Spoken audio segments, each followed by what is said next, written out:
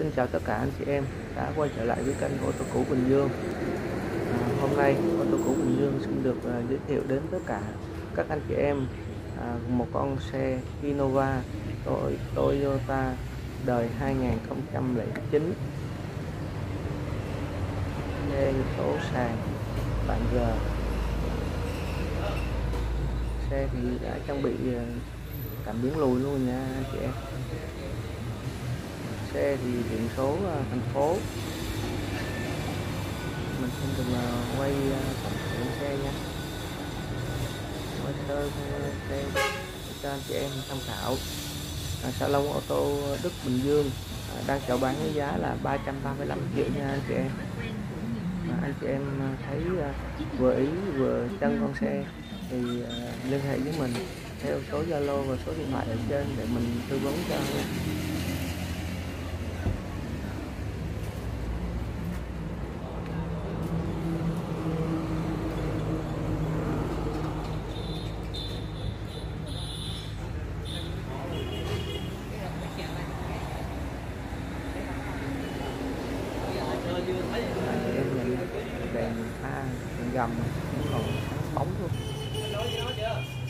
Đón xe mâm xe vẫn còn ok. Xe còn mới nguyên luôn. Đánh với đằng sau cái ai cũng làm cảm